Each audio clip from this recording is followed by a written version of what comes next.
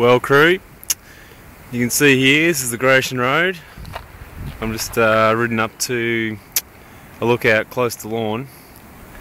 And this is my uh, last little spin around this area for quite some months now.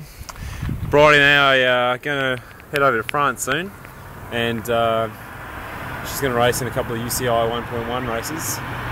So we'll see you, uh, see you all soon. I'm not heading to Hawaii this year. Uh, I've had a bit of a few Achilles problems and also just uh, couldn't come quite come at uh, being away from the girl for another month when I've got holidays only a short period this year.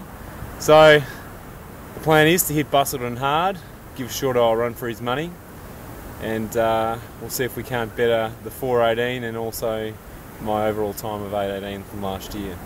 Anyway, see you all soon.